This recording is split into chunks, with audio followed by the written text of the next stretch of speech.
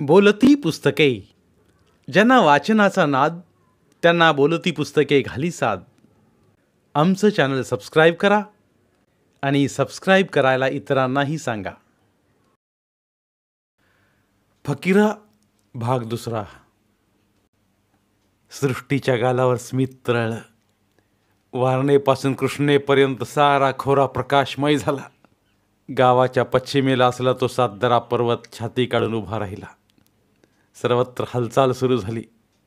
निर्भयता अवतीर्ण झाली आणि आज शिगावची जोगणी आणायचीच असा निर्धार करून रानोजी उठला. दुपार फिरली. रानूजी शिगावला निघाला. फकीरा सहदेव यांना काकेत घेऊन गाडी वाटेपर्यंत येऊन चिंचेखाली थांबला. दौलतीत तलवार आणि गबऱ्याला घेऊन आला. पोरांना खाली ठेवून रानोजीनं तलवार घेतली. सहा बोटं रुंदीचं ते लखलकीत पल्लेदार पातं वजनदार मूठ मुठीला वीत बरच्याचं फाळ. माशी बसली असती तरी ती कटून पडावी अशी धार. अशी ती जंगी तलवार हातात येताच राणूज भरकन उडून गबऱ्यावर बसला आणि दौलती म्हणाला कुणासंग भांडण तंटा करायचा नाही. दिसावर परतायचं. रानोजीनं होकारार्थी मान हलवली आणि पूर्वेकडं तोंड केलं. गबऱ्या ढिंगाटाकीत उडीनं निघाला. पाठीमागून फकीरा सहदेव एका आवाजात ओरडले. आबा आम्हाला पेढ आण.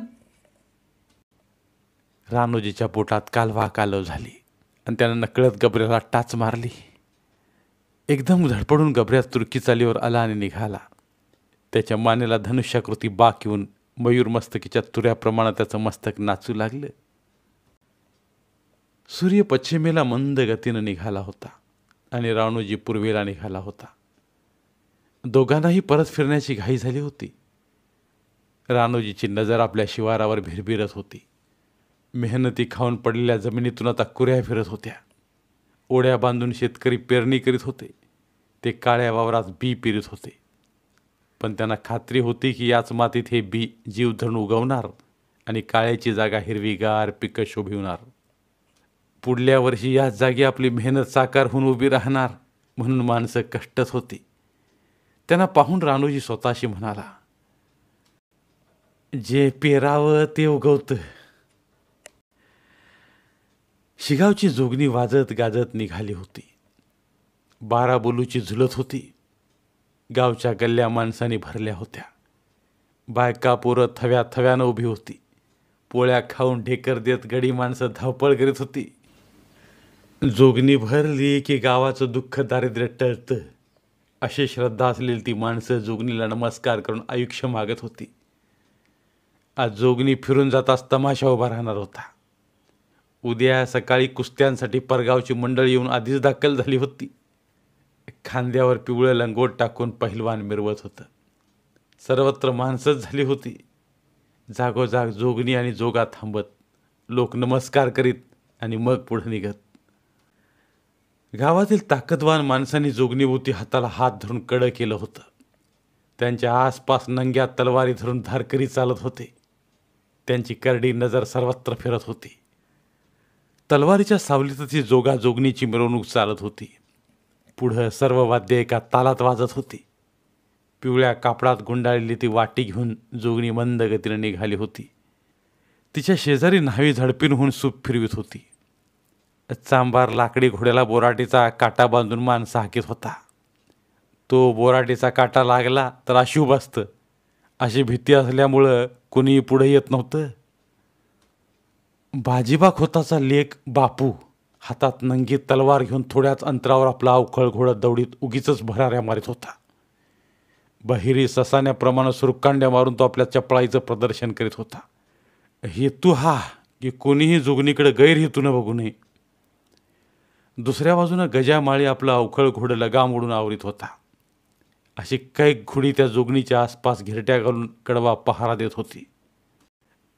काके तलवार दाबून रानोजी त्या गर्दीत वावरत होता. पेड्यांचा पुढा कमरेत खुचून तो पुढील योजनेत गर्क झाला होता. त्यानं गबऱ्याला वाटेगावच्या बाजूला एका ओढ्यात बांधून ठेवला होता. कुठून जोगणीवर झडप घालून कुठंपर्यंत जायचं आणि मग गबऱ्याला घेऊन कसं पुढं निघायचं याची सारी जुळणी मनात करून तो त्या जोगणीबरोबर चालत होता. जसजशी ती जागा जवळ येत होती तस तसा तो अधिक बेभान होत होता.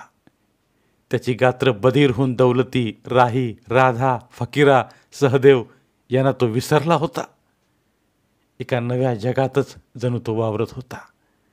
त्याच्या मनाची त्याच्या विचारांची वेगळीच हालचाल सुरू झाली होती. जोगणी भूती असल्या कड्यात राम्या लोहार हा सर्वात दांगट होता. त्याचे डोळे तांबारले होते. तो कोणालाही आसपास येऊ देत नव्हता. आणि रानोजीनं त्याच्यावरच आपली नजर रोखली होती. कैकाळ्याच्या अंगणात जोगणी गेली की एका दणक्यात लोहार उतरायचा असा त्यानं विचार करून ठेवला होता. कुठला धारकरी कुठं मारायचा हे ठरवूनच तो चालत होता. जोगणी पेटत आली आणि भैरू रामोशी भेटला. तो जवळ येऊन म्हणाला रानूदा तू कवा आलास गा? उशीर आलोय. तू आईच बाहेर ये. राणूजीनं त्याला जवळजवळ उडीत गर्दीतून बाहेर नेलं. रानूदा काय भानगड? तू आत्ताच्या आता गावाकडे जा. आणि काय करू? शंकरराव पाटील आणि पंथ यासनी सांग. काय सांगू? सांग राणूजी जोगणी घेऊन निघाला. आडवया. म्हणजे? म्हणजे काय नाही. भैरू तू पळ. हत्यारबंद माणसं आडवी आली पाहिजेत. मी निघालोच बघ.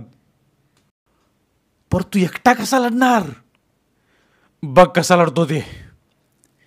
मग मग मी बी थांबतो. तू जोगणी घेऊन निघ. मी वाटा रोखून धरतो. पिस्सू पुढं. नग नग भैरू ही थटून लढण्याची वेळ नव तू जा. पळ. रामोशी निरुत्तर झाला. त्यानं आडाला जाऊन पंजे आखडलं आणि तो धावत निघाला. घुमेनं निघाला. रानूजी जुगणी घेऊन निघायच्या आत गावात कसं पोचायचं याचा विचार करीत तो निघाला. एक एक क्षण त्याला युगासारखा वाटू लागला. एका चिंचोळ्या बोळात शिरून जोगणी कैकाड्याच्या अंगणात आली. उथळ जागा पुढं गाडी वाट पलीकडं ओढा. तिथंच गबऱ्या रानोजीची वाट पाहत उभा होता. त्या मैदानात येताच गर्दी पांगली. पहारा सैल झाला. जो तो लघवी करायला पांदीकडे व वावरात पळत गेला. कुणी चंची सोडली तर कुणी चुन्याच्या डब्यात बोट घालून तंबाखू चोळू लागलं. कुणाच्या तोंडात विडी पेटली. आणि आणि रानूजीनं भरकन झेप घेऊन एका वारात राम्या लोहार आडवा केला. आणि दुसऱ्या क्षणात ती जोगणीची वाटी ही सगली तोच एक तलवार त्याच्यावर आली. क्षणात ती खाली पडली. लगेच दुसरी तळपली. तिलाही खाली लुळवून डोळ्याचं पातळ लवतं न लवतं तोच रानोजी पांदीकडं धावला.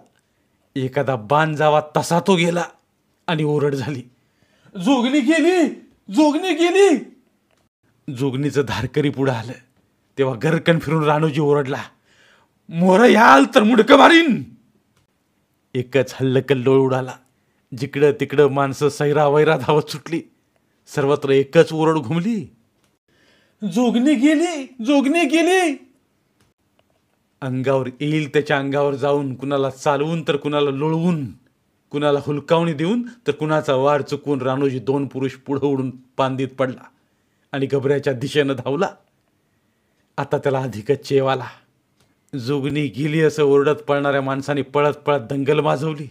त्या दंगलीत शिगावकरांची घोडी बावचळून गेली. पळणाऱ्या जोगणी घेऊन कोण पळत आहे? कोणाच्याच लक्षात येईना. त्यात बापू खोताचं घोडं एका दिडक्या गल्लीत अडकून पडलं. पुढून येणारे लोक त्याला वाट देईनात. तेव्हा खोत चिडला. त्यानं तलवार चालवून लोकांना परत फिरवून स्वतःची वाट करून घेतली आणि घोडं पुढं केलं. बापू खोतानं माणसं जखमी केल्यामुळं अधिकच दंगल वाढली. पण त्याची मुळीच पर्वा न करता खोत कैकाड्याच्या पटांगणात आला.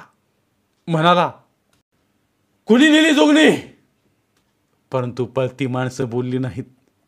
गजामाळी आला काही आणखीही घोडी आली त्यांना ओढ्यातून गबऱ्यावर बसून दरडीनं वर आलेला रानोजी दिसला आणि शिगावच्या सहा घोड्यांना टाचा मारल्या गेल्या. धरा मारा जाऊ देऊ नका. पुन्हा दंगल वाढली. गाडी वाटेनं सहा मैलांची दौड मारण्याऐवजी माळानं सरळ चार मैलात आपली शिव गाठावी असा विचार करून रानोजीनं आपलं घोडं माळाला लावलं. सपाट माळावर येऊन त्यानं पाठीमागची ओरड वळून पाहिली व एकदम पुढं झेपावून गबऱ्याचा लगाम काढून फेकून हातातील वाटी कमरेत खोचून त्यानं तलवार सरळ धरली. गबऱ्याच्या कानाजवळ तोंड नेऊन ओरडला. घबऱ्या मला घेऊन लवकर चल. मला टाकून जाऊ नकस आपली शिवगाठ चल. बेलगाम गबऱ्या भन्नाट निघाला. त्याच्या पायात विद्युत गती संचारली. टापांचा खडखडाट करीत गबऱ्या निघाला. वाऱ्यावर अरुड व्हावं तसं ते घोडं निघालं. त्याचा देह गतिमान झाला. टाच मारण्याची गरज निकामी झाली. गती या शब्दातील अर्थ दुबळा झाला. गबरे आपली शिव जवळ करू लागला. उलट येणारं वारं कापीत गबऱ्या धावत होता आणि निवडुंगात निपजलेलं धैर्य हातात फरडी तलवार घेऊन लगामाशिवाय त्याच्यावर बसून धुंद झालं होतं. त्याची विजयाकडे दौड निघाली होती. मागून खोत धावत होता. तलवार उंचावून गरजत होता. टाच मारीत होता. त्याचं घोडं ताशावर टिपरू पडावं तशा टापाटाकीत पिछा करीत होतं. गजामाळ्याचं घोडं त्याच घुमेत होतं. ती सारी घोडी कानाला कान लावत झेप घेत होती. पाठीमागच्या टापा रानुजीच्या कानात वाजू लागली आणि गबऱ्याची भिंगरी झाली. शिगावची हद्द संपली. वाटेगावची हद्द लागली. आणि बापू खोत अधिकच भडकून पुढे निघाला. त्याला पाहून राणोजीनं विचार केला ह्यानं ह्यानं वाटी परत नेऊ नये. तो कमरेची वाटी काढून चावून खाऊ लागला गिळू लागला. गबऱ्या दमण्याऐवजी अधिकच दौडत होता. त्याच्या नाकातून करण्यासारखा आवाज येऊ लागला. इतक्या वेगानं तो पूर्वी कधीच धावला नव्हता. रानूची जोगणी घेऊन निघाला. ही खबर भैरूनं गावात पोचवली आणि गावात एकच गडबड उडाली. हा हा म्हणता साऱ्या गावात बातमी खेळली. सारा गाव शिगावच्या गाडी मार्गानं धावत निघाला. हत्यारानं वाट गच्च भरली. ती बातमी जेव्हा मांगवाड्यात आली तेव्हा दौलती चरकलाच राहीबाई भांभावली राधा धावत दारात आली आणि थांबली. फकीरा चिंचेवर चढून आपल्या झुंजार बापाला शोधू लागला. सहदेव रडू लागला. मांगाने कुऱ्हाडी ठोकल्या. महार धावत निघाले. शंकरावानं खोगीर न घालताच घोडं दामटलं. पंताने आपला घोडा दुडक्या चालीवर लावला. गाव राणोजीला आडवा निघाला. परंतु रानूजी त्या गाडी मार्गानं येतच नव्हता. त्यानं माळानं येऊन शिव गाठली होती. तरीही खोतमागं फिरला नव्हता. तो अधिकच चिडून पुढे येत होता. पिछा करणारी घोडी ऊर फुटून धावत होती. ती कधी जवळ भिडत होती तर कधी मागं राहत होती. माळाचा आरडाओरडा वाढला होता. गजामाळी राणूजीला भिडून होता. तोच खोत ओरडला. गजा भाला फेकले का? भाला फेक! गजानं झुकांडी घेऊन पुन्हा लगट केली आणि आपला भाला जुमानून फेकला. तो वजनदार भाला राणूजीच्या पाठीत खपकन शिरला. त्याच्या बधी रंगात आधीच कळ मेली होती. ती किंचित वळवळली. तो रक्तानं न्हाला. त्यानं पाठीत भाला घेऊनच गजावर रोख धरला. खोत पुढे येऊन बाजूला झाला आणि पुन्हा गजामाळीजवळ आला. राणूजीनं खसकन वार मारला. पागोटं तोडून तलवार नाकाच्या शेंड्यापर्यंत खाली आली. उतरली. आणि गजा घोड्याखाली कोसळला. पडलेला गजा पाहून खोत चिडला ओरडू लागला. गाडी वाटेनं निघाले लोक ती ओरड ऐकून चकित झाले आणि सारा लोंढा माळाकडे धावत निघाला. पण आडवाटेनं माळ जवळ करणं कठीण होतं. गजा खाली पडताच बापून आपला घोडा राणूजीच्या जवळ नेला आणि मागणं उसणं घेऊन भाला फेकला. तो गबऱ्याच्या चौकात खसकन शिरला. त्याबरोबर पळून दम उखाडलेला गबऱ्या पुढच्या दोन पायावर कोसळून पडला. त्याचं ऊर फुटून तो रक्त उकू लागला. रानोजी उठून सरळ होईपर्यंत त्याच्यावर मुरकुंड पडली. त्याला अवसर मिळण्यापूर्वीच त्यावर वार झाले. पुन्हा पुन्हा झाले. मग तो मर्द मांग मुठीत तलवार घट्ट धरून त्या आपल्या इमानी गबऱ्यावर कोसळला. खोतानं वाटी शोधली. ती मिळाली नाही. मग रानोजीचं शेर घेऊन तो परत फिरला. आणि वाटेगावचे लोक तिथं आले. तो देखावा पाहून गाव स्तंभित झाला. एक मैल हद्दीत शिरून खोतानं केलेली आगळी पाहून गाव चिडला भडकला. शिगावकराने रिवाज मोडला होता. दौलती प्रेतावर अंग टाकून ऊर बढवू लागला. राही राधा एका वावरात लोळू लागल्या. पोरं दिनवाणी होऊन रडू लागली. गाव जमला. लहान थोर रडू लागले. बायाने राहीबाई आणि राधा यांना आवरलं. विष्णूपंत आले. त्यांनी शिराशिवाय रानोजी पाहिला. त्यांचा चेहरा उग्र झाला.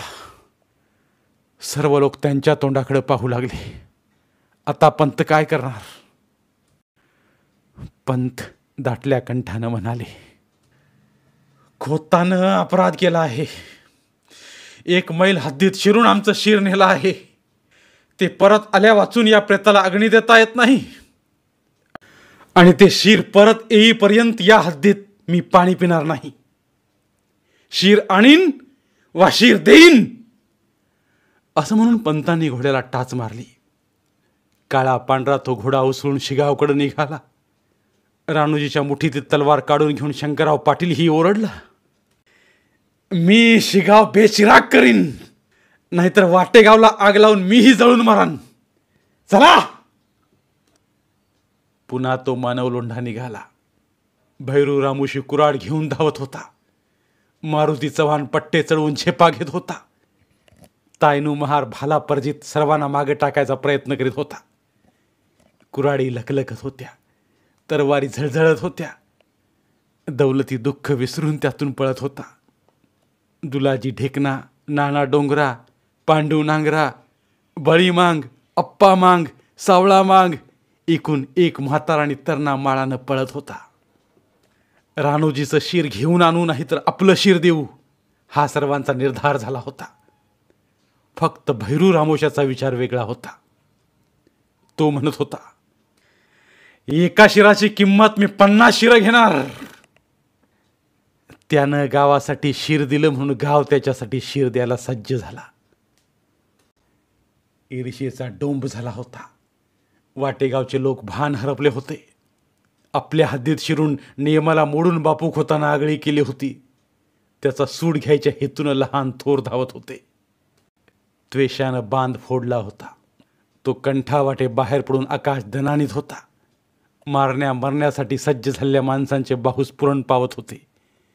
गोपनीचे पागुरे तयार झाले होते. सर्व लोक ओरडत होते.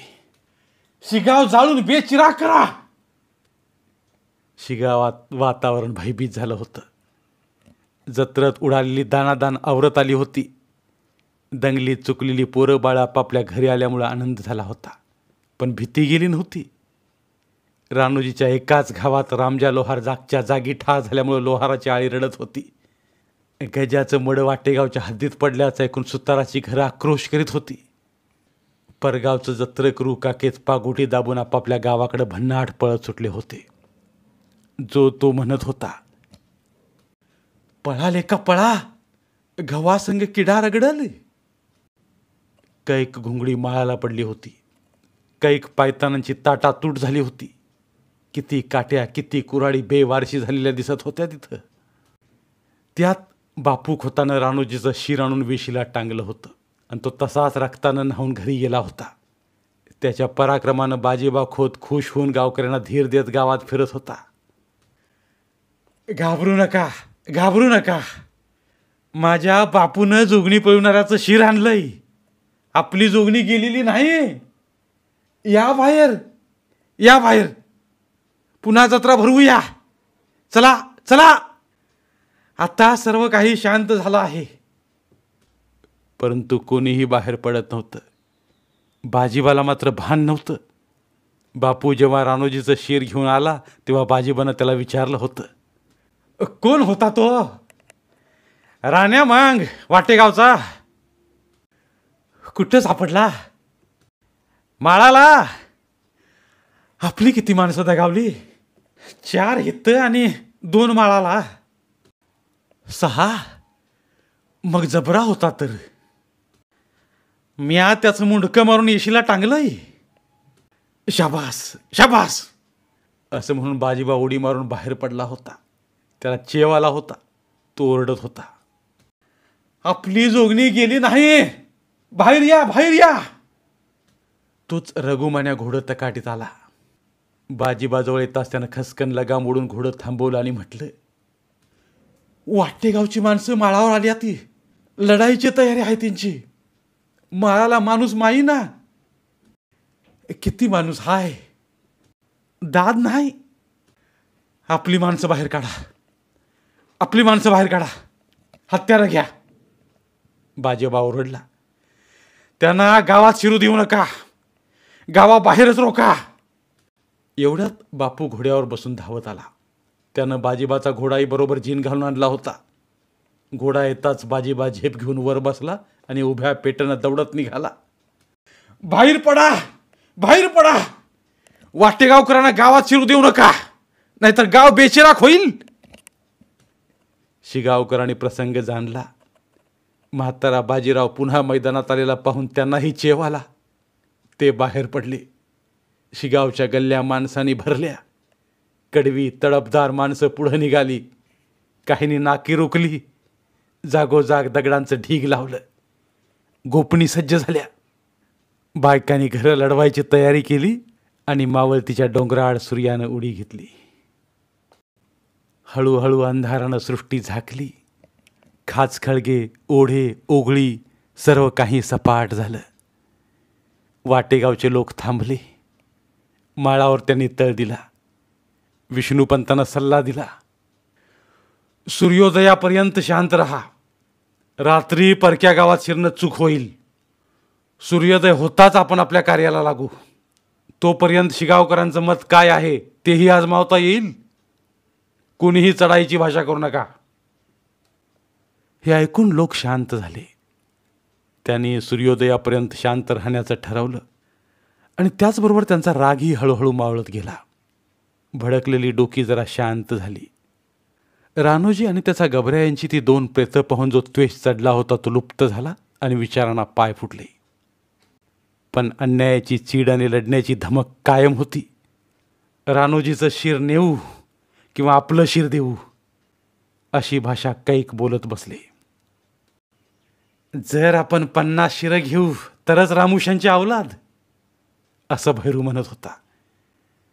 ज्या मांग जमातीबद्दल कोणीही कधीही विचार केला नव्हता. त्या निवडुंगात काय वास करतं कोण जन्मतं कोण मरतं हा कोणाचा मुलगा हा कोणाचा नातू याची कोणी कधी कल्पनाही केली नव्हती. त्या जमातीतील एका माणसानं गावासाठी गावाच्या जत्रेसाठी स्वतःचा प्राण देताच शतकानुशतकाचं अंतर संपुष्टात आलं होतं. अगदी घरातल्या माणसासाठी जसं चिकाटीनं झटावं तसं वाटेगाव झटू लागलं. प्रत्येक माणूस हळहळला चिडला आणि आता तर नवाच प्रश्न निर्माण झाला होता. सारा गावच शिगावला राणूजीचा शिर आणायला गेला होता. तिथं काय होणार? जर लढाई झाली तर कोण मरणार आणि कोण जगणार? या एकाच विचारानं गावात जे उरले होते ते व बायकापुरं विचार करीत होती. सर्वांचे डोळे शिगावकडे लागले होते. शिगावची सहा माणसं कामी आली होती. कैक जखमी झाली होती. परंतु इंग्रजी सत्ता शांत होती. पाहत होती. ती काहीही करू शकत नव्हती. कारण कोणत्याही धार्मिक बाबीत आम्ही ढवळाढवळ करणार नाही असा राणीचा जाहीरनामा होता. त्या वचनाला ती बांधली गेली होती. जोगणी ही धार्मिक बाब आहे असं म्हणून सरकार स्वस्त होतं. शिवाय हे लोक आपसात लढून मरत होते. हाही काही थोडा थोडका फायदा नव्हता त्यांचा. धन्यवाद. उर्वरित कादंबरी पुढील भागात. साहित्यरत्न लोकशाहीर अण्णाभाऊ साठेंचं संपूर्ण साहित्य. एकूण त्रेचाळीस पुस्तके. कादंबऱ्या आणि कथासंग्रह. अभिवाचन स्वरूपात ऐकूयात फक्त आमच्या समग्र अण्णाभाऊ या चॅनलवर. आणि लोकशाहिरांची ही साहित्य संपदा सर्वत्र पोहोचवण्यासाठी आपण सर्वजण एकत्रित प्रयत्न करूया. जास्तीत जास्त शेअर करूयात. धन्यवाद.